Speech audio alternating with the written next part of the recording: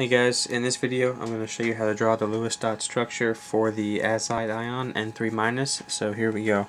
Uh, we have N3 minus, which gives us three nitrogens each with five valence electrons, plus one more for the negative one charge, which gives us a total of uh, 16 valence electrons. Okay, so obviously with three nitrogens you're just going to have three nitrogens in a row okay?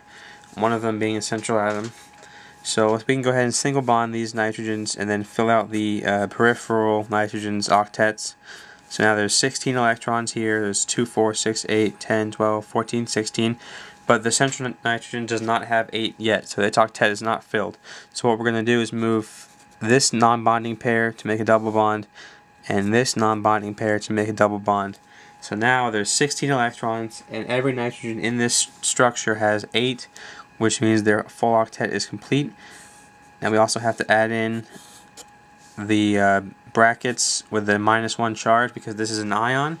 So let's go ahead and verify this is right by checking the formal charges. The uh, formal charge on the uh, nitrogen in the center N sub C, so this one right here, is going to be uh, 5 valence brought in minus 1, 2, 3, 4 bonds minus 0 non-bonding electrons for a plus 1 charge. Okay, now we can check the uh, formal charges on the uh, nitrogen peripheral, so the outside ones, N sub P.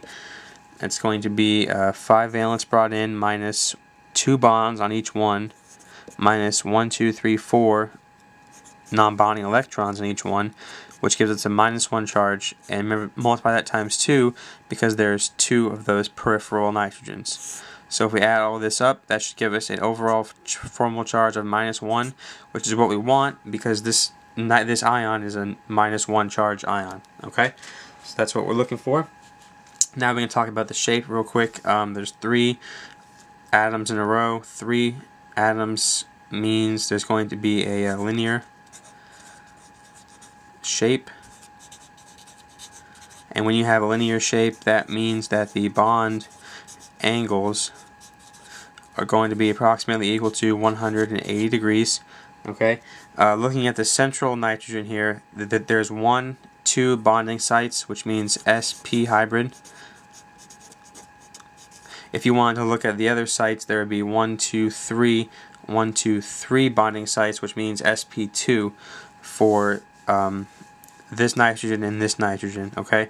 But typically you talk about the central atom in these uh, Lewis dot structures, and because all three of these are nitrogens, these two will cancel each other out in terms of net dipole moment, meaning that this is going to be a non-polar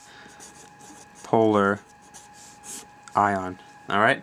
That should be pretty much it for this. If you have any questions, let me know, and thanks for watching.